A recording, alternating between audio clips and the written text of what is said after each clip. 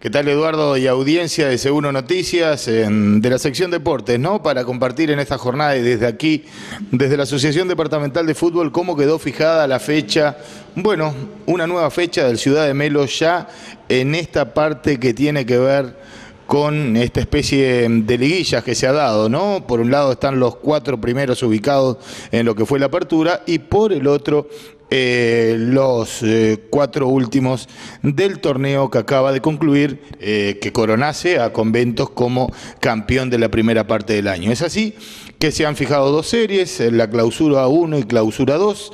En clausura 1 están Conventos, Artigas, Melo Wanders y Nacional.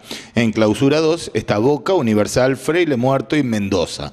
Los partidos estipulados para el próximo fin de semana son en la cancha de los Padres Salesianos a primera hora el sábado. A la hora 14 estarán jugando Artigas Conventos.